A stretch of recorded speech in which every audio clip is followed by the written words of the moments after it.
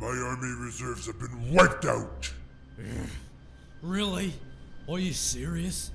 We had everything planned out perfectly. Yet again, we leave it to you, and you mess everything up. This isn't the time for mistakes. The slightest mistake now could have the biggest consequence. Maybe try harder to actually do your job right next time? Excuse me. Harder? Listen here, Muckspout. I have been around for a good while to know what I'm doing. The Queen's armies are getting stronger each day, and the more her power grows, the less effective our tactics are against her. There is nothing else I could have done to prevent our fall on the battlefield. But the next time you command an army, you can tell me all about how it feels to lead a thousand men to their deaths. Could you both calm down and settle this at a better time? Orgoth, I was born to be a superior leader. More superior than you. I could have easily taken that rat and her army down had you all given me the chance. And Maverick, stay out of this. Orgoth and I were talking. You have nothing to do with this conversation right now. Keep your mouth shut, you little kid, before I claw it off instead. Let the adults. Enough!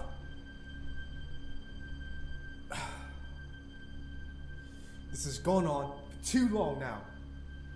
I'm tired of listening to the arguing. You two have been going on since the Civil War started. We have work to be doing here, people to save. The longer we wait, the more time Alexandra Lane has to gain power. It might be true that right now our armies aren't in the best shape. It might be true that Orgoth may have made a small mistake. But regardless, we have to come up with a plan of action. We don't have time to sit here and argue. Finish, Nogoth. Calm yourselves. There will be plenty more time to argue once this war is over. It's complete and utter chaos out there, and you're just gonna tell me to stay calm? During a war? How am I supposed to be calm when we're all laying around waiting to be slaughtered like pigs instead of chopping heads off? This is a time we need to take matters into our own hands. We have to do our own dirty work now. I. I don't believe that we can, Fenris. Alexandra knows us personally, and our heads are on the table for a price. We'll be killed immediately if we step one foot out of this bunker. It's best if we just stay here and guide the younger circle members. Huh, like hell we'll just stay here. We need to go out there and fight. It's not as if there's someone else that we could just magically summon to fight the mess that Alexandra made. It's only us now, and we need to take care of it. Or is there? Fenris, I can't believe I'm about to say this, but you may have actually given me an idea. What? 200 years ago, there was a man. He was a vampire of great power, but he decided to try and take out the circle. But he failed. He was thrown into the abyss by Exandra before she rose to power.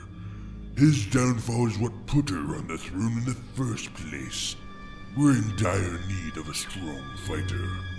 If we can get him to work with us instead of against us, there's a chance we can. Hell, Orgoth, you're not talking about. Yes, I'm talking about him. We don't have a battle strategy.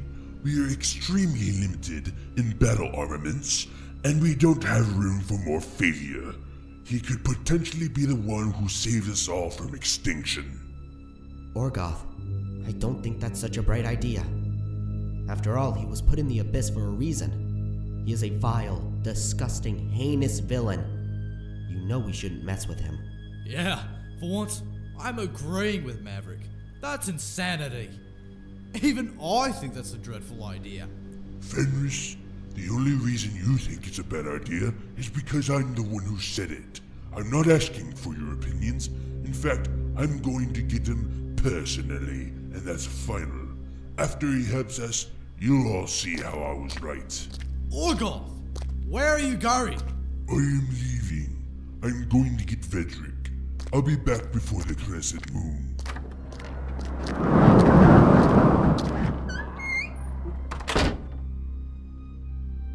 Oh, jeez. He's going to get us all killed. Why couldn't you just say yes to letting me go fight? I did not realize that this would happen. If I'd have known Orgoth would do this, I would have had a higher chance of saying yes to you. But let's wait to take any further actions. Maybe Orgoth is onto something.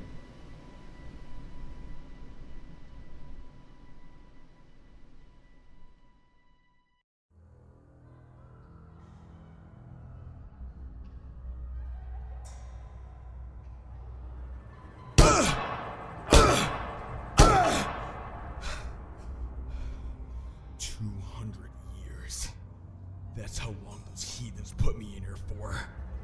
Real heroes don't try and torture people for 200 years. It's a living nightmare. I should have killed them all when they were less suspicious of me. I want to die! I want to die! Ah!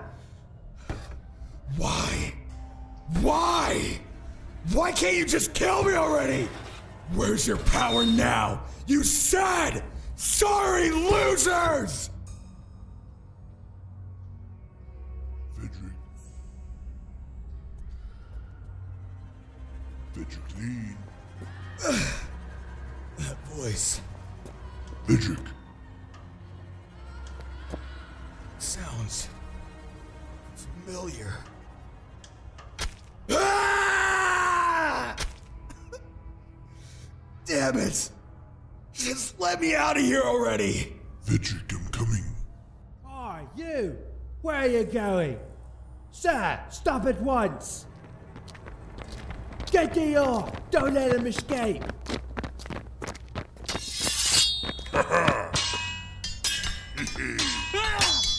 If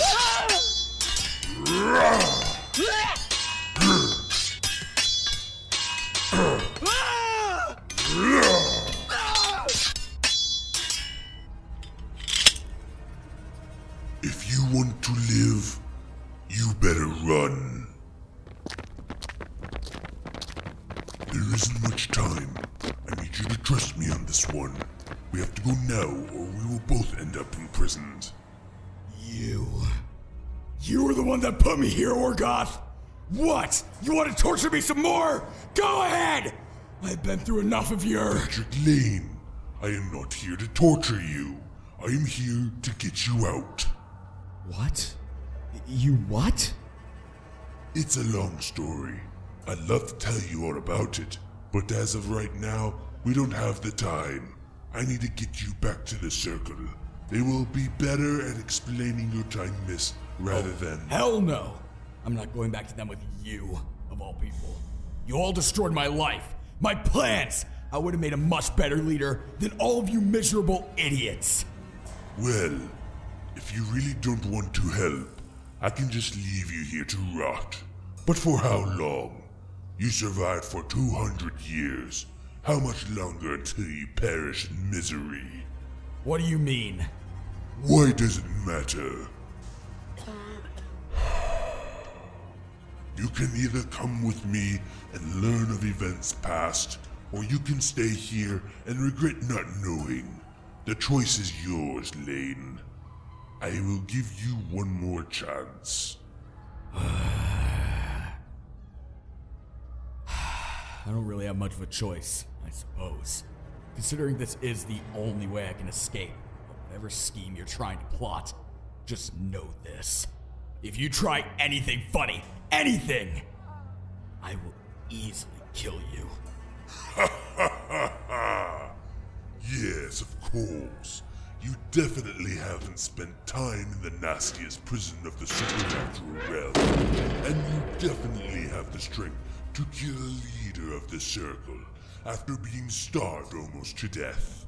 Really now, Vederic, Use some common sense. Hey you! Stop them! Everyone! At once! And call for backup! Ah, Rickfire. Time to go, Laine.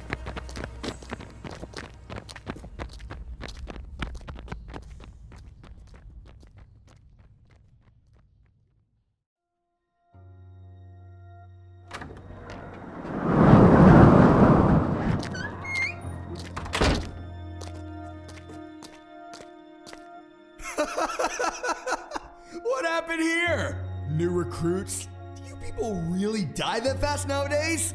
Man, what a bunch of lowlives. That's some big talk come from such a small mouth. Really, Orgoth? I would have expected more from you. This peasant obviously can't take on an army like that. Look at him. He looks weak and scrawny. The only thing he'll be able to do is get in the way of our victory.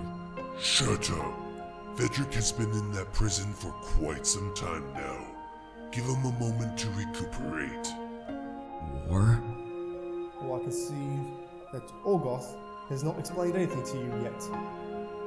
You seem too confused to know what's going on. Either way, it will take us a few minutes before we can get into the details of this tough predicament we have gotten ourselves into. But first, I have something to say to our orc leader. Orgoth, you blatantly disrespected and disobeyed my specific instructions not to let this heathen out of the abyss. It is obviously too late now, but I do not appreciate the disrespect I have been given. Let it be taken as a warning that if Vederic takes one step out of line, you will be directly held responsible. Understood. Come with me. And Laine, I will have Maverick and Fenris here look after you in my absence while I talk to Orgoth.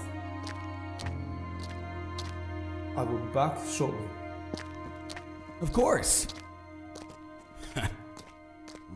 Be able to get revenge on one of the original Circle members.